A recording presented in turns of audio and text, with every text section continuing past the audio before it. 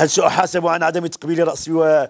ويد والدي؟ وإني أستحيي كثير منهما مع العلم أني أحبهما كثير وأدعو لهما بالمغفرة وأعمل على نيل رضاهما. أنت جزاك الله خير عندك هذه النية أنك تسمع لهم وتطيعهما هذا هو المهم وتريد أن تنال رضاهما وتحرص على طاعتهما جزاك الله خير. باقي لك ما تقدرش تسلم لهم على اليد ما توالفتش وما تسلم لهمش على الراس. هما الوالدين راهم مختلفين ضرب كاين الوالد اللي يعلم ولادو يعني يسلموا له على يده كاين اللي في العائلة نتاعهم هذا الشيء عندهم عادي ما ما كاين مشكل.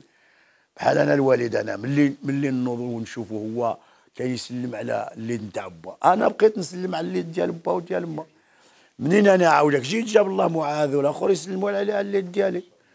هكذا. بناتي يسلموا على اليد ديالي ويسلموا على راسي. هكذا غادية. هذه هكذا. واحد النهار معاذ تنيرفا وما سلمليش على يدي. ما كاين مشكل أنا ما عنديش مشكل.